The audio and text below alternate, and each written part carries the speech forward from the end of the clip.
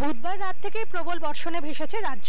সকাল হতে বিক্ষিপ্ত নয়, বরং দফায় দফায় বৃষ্টিতে নাজেহাল শহর থেকে শহরতলি। তবে বৃষ্টি কমার বদলে আরও ভারী থেকে অতি ভারী বৃষ্টির পূর্বাভাস ছিল আলিপুর আবহাওয়া দপ্তর। হাওয়া অফিস প্রকাশিত বিজ্ঞপ্তিতে বলা হয়েছে, গাঙ্গেয় পশ্চিমবঙ্গ এবং সংলগ্ন এলাকায় আর্দ্রতা বাড়ছে ক্রমশ। বঙ্গোপসাগরে নিম্নচাপের জেরে একটি ঘূর্ণাবর্তের সৃষ্টি হয়েছে। এর ফলে বজ্রবিদ্যুৎ সহ ভারী থেকে অতি ভারী বৃষ্টি হবে। আগামী আটচল্লিশ ঘণ্টা এই দুর্যোগ চলবে বাংলায়। হাওয়া অফিস জানিয়েছে, কলকাতা সহ দুই চব্বিশ পরগনা, দুই মেদিনীপুর, হাওড়া, হুগলি এবং বাঁকুড়াতে বজ্রবিদ্যুৎ সহ ভারী বৃষ্টিপাত হবে।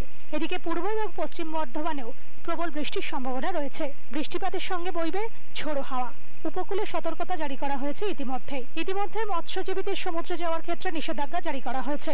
উত্তরবঙ্গের জেলাগুলিতে হালকা থেকে মাঝারি বৃষ্টিপাতের সম্ভাবনার কথা জানানো হয়েছে। বজ্রপাতের প্রাবল্য বাড়তে পারে, তাই উপকূলীয় অঞ্চলের বাসিন্দাদের ঘরের বাইরে বেরোতে বারণ করা হয়েছে। স্থানীয় ত্রাণ শিবিরে যাওয়ার পরামর্শ দেওয়া হয়েছে। এদিকে রাতভর বৃষ্টিতে জলমগ্ন শহর কলকাতা। রাজ্যের একাধিক জেলাতেও জল জমে গিয়েছে।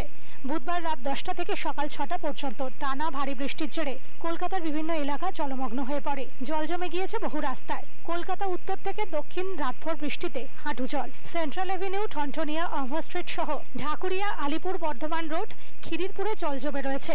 জলবন্দি রয়েছে সাদার্ন রেভিনিউয়ের বেশ কিছু রাস্তা। সংলগ্ন অঞ্চলের উপরে একটি ঘূর্ণাবর্ত এবং বঙ্গোপসাগর থেকে প্রচুর পরিমাণ জলীয় বাষ্পের আমদানির জন্য সতেরো এবং আঠেরো তারিখ, এই দুদিন পশ্চিমবঙ্গের প্রায় সমস্ত জেলাতে হালকা থেকে মাঝারি বৃষ্টি। উনিশ তারিখ উত্তরবঙ্গের, অর্থাৎ আমাদের যে দুপুরের যে জেলাগুলো, সেখানে সব জায়গাতেই হালকা থেকে মাঝারি বৃষ্টি এবং দক্ষিণবঙ্গের সমস্ত জেলারই বেশ কিছু জায়গায় হালকা থেকে মাঝারি বৃষ্টির সম্ভাবনা থাকছে।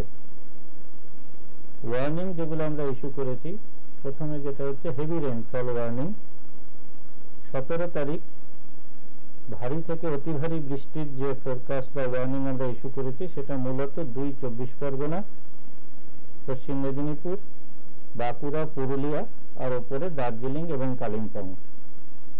আর শুধু ভারী বৃষ্টি, যে দক্ষিণবঙ্গের বা উত্তরবঙ্গের যে বাকি জেলাগুলোতে রয়ে গেল ইনক্লুডিং কলকাতা, সেখানে শুধুমাত্র দু এক জায়গায় ভারী বৃষ্টি। আঠেরো তারিখ ভারী থেকে অতি ভারী বৃষ্টি যেটা হবে সেটা হচ্ছে একটু পশ্চিমের জেলাগুলোতে, অর্থাৎ পুরুলিয়া, বাঁকুড়া, পশ্চিম মেদিনীপুর, পশ্চিম বর্ধমান, বীরভূম এবং মুর্শিদাবাদ। এই জেলাগুলোতে ভারী থেকে অতি ভারী। আর কিছু জেলা আছে যেগুলো আমাদের মূলত নিচের দিকে, কলকাতা, পশ্চিম মেদিনীপুর এবং ঝাড়গ্রাম। আর ওপরে দার্জিলিং, জলপাইগুড়ি, কালিম্পং এবং আলিপুরদুয়ার। এই জেলাগুলোতে শুধুমাত্র ভারী বৃষ্টি। উনিশ তারিখ বৃষ্টি ওপরে একটু বাড়বে, অর্থাৎ দার্জিলিং, জলপাইগুড়ি, কালিম্পং, কুচবিহার, আলিপুরদুয়ার এই জেলাগুলোর দু এক জায়গায় ভারী বৃষ্টি। আর দক্ষিণবঙ্গে মুর্শিদাবাদ এবং বীরভূম এই দুটো জেলার দু এক জায়গায় ভারী বৃষ্টির সতর্কতা থাকছে। যেহেতু উত্তর বঙ্গোপসাগরে স্কোয়ালি ওয়েদার থাকবে, তাই আঠারো তারিখ অবধি ফিশারম্যানদের সমুদ্রে মাছ ধরতে যেতে নিষেধ করা হচ্ছে। বর্ষা দক্ষিণবঙ্গে এগারো তারিখ শুরু হয়ে বারো তারিখ পুরোটাই কভার করে ফেলেছিল এবং তারপর থেকে আজ অব্দি যেহেতু টানা বৃষ্টি হয়ে চলেছে এবং আগামী দুদিনেও, দু থেকে তিন দিনেও বৃষ্টির সম্ভাবনা থাকছে, ফলে পসিবল ইম্প্যাক্ট আমরা যেটা দেখছি যে লো লাইং এরিয়াতে জল জমে যেতে পারে।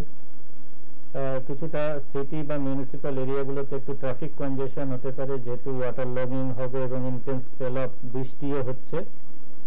এবং নদীগুলোর কিন্তু জলস্তর বৃদ্ধি পাওয়ার সম্ভাবনা আছে। তাহলে যে অ্যাকশন যেটা আমরা সাজেস্ট করছি সেটা হচ্ছে যে আগে যেটা বললাম ফিশারম্যানদের অর্থাৎ মৎস্যজীবীদের সমুদ্রে মাছ ধরতে যেতে মানা। আর দু নম্বর হচ্ছে যে যেহেতু এই সময় থান্ডারস্টর্ম রিপোর্ট চ্যানেল টেন